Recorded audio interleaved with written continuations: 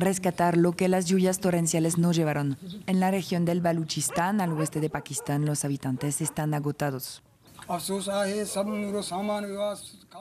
Es muy triste que todas mis pertenencias estén sumergidas, mi casa inundada, muchas partes de mi casa están dañadas.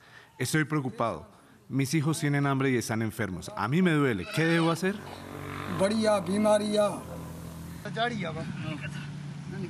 Ha entrado mucha agua en nuestro pueblo, nuestras casas están sumergidas, algunos de nuestros familiares han muerto y el ganado también. No estamos recibiendo ninguna ayuda del gobierno.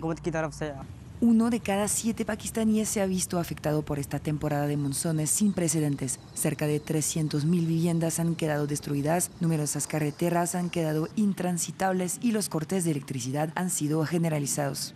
Las inundaciones han llegado de todos lados, incluso del lado de Irán, ahora que la ruta de Irán está cerrada. Tras las lluvias torrenciales de ayer en las que se destruyó el puente de Bolán, Baluchistán ha quedado aislado del resto de Pakistán por carretera, ferrocarril y enlaces de comunicación. Frente a la urgencia de la situación, el Papa Francisco llamó a la ayuda internacional.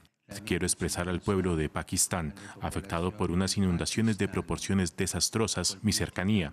Rezo por las víctimas, por los heridos, por los desplazados. Esa generosa solidaridad internacional vendrá pronto. E perché sia pronto la generosa solidarietà internazionale. Los responsables pakistaníes atribuyen estas devastadoras inclemencias al cambio climático, afirmando que Pakistán sufre las consecuencias de prácticas medioambientales irresponsables en todo el mundo.